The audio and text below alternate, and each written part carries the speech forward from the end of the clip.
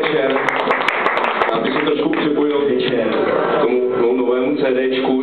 Já jsem vás chtěl poprosit, abyste to tolik nekupovali, protože Květník eh, mi včera říkal, že nutně potřebuje dvě CDčka pro sebe domů, takže mu ho mají rodiče koupit k Vánocům. Takže to prostě nevyprodejte všechno. Nicméně já bych vám teďka rád tady ocitoval uh, recenzi uh, pana Jana Nepravdy, zítra bude otisknutá v Lidových novinách Frontě, ale je to ta pří, ta, taková ta, ten magazín tam s fotkou. A Česko bude vědecká příloha, jestli. Mons Pubis Moři. Jan Nepravda. Anus Records. To je. Názvu kapel na naší alternativní rokové scéně by se dalo při troše umu představit celé ženské tělo. V říjnu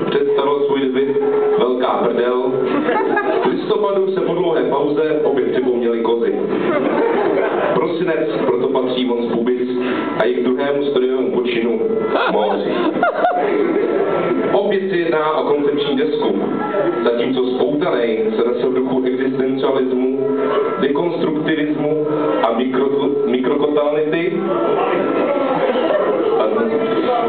Celou desku k moři se lidi jako tenká hnědá čára, smrad chaluch a nafouklých snělých ryb a v písních ožívají trosečníci, polské pany, rybičky, rybáři a upíři. Je hned ta první, Naivní snílek. Ten už se objevil ve čtyřech verzích na Monstu Beat Live minulý rok.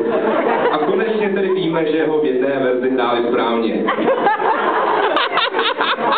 Druhá píseň je ještě víc nejlepší.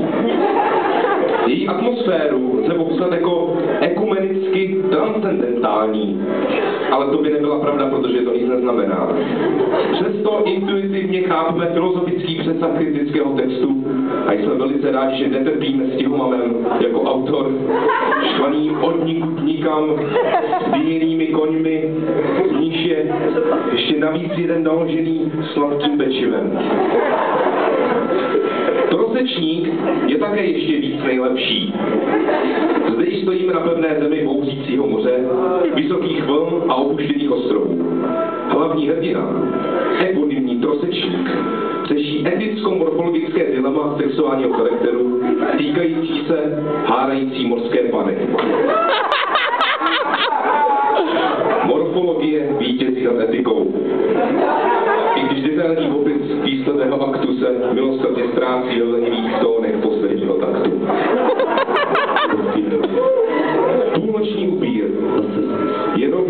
ještě mnohem víc nejlepší. Zdánlivě se vezoucí na módní vlně upíří téma posledních let. Ve, skutečn, ve skutečnosti posmutnělá satira na byrokratickou mašinérii Evropské unie zobrazuje bruselského úředníka s aktovkou v ruce jako zabijáka neškodných a tolik důležitých tradic východoevropských menšin.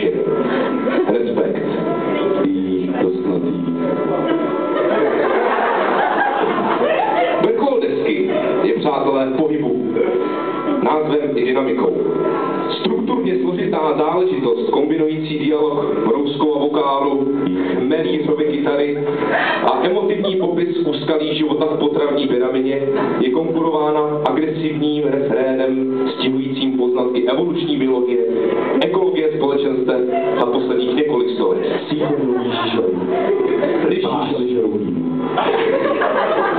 Další absolutních vrcholů desky nás opět zavede na moře. Tentokrát ve formě odborářské pracovní písně se silným příběhem všedního dne. Píseň definuje akordeon Květoslava Vandráka. Je málo dravej. A obsahuje příslovný textuální apex celé desky. Téměř přehlušený náhled zednutou vlnou zkreslených kytar. Všem přátelé, vlny, mořské trny bude těžké kdy překonat. Na dějí.